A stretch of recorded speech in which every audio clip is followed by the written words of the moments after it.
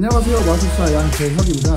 오늘은 안양 헤어룸 초등학교 동서울 유치원에 크리스마스 인형극 공연을 하러 왔거든요 함께 보시죠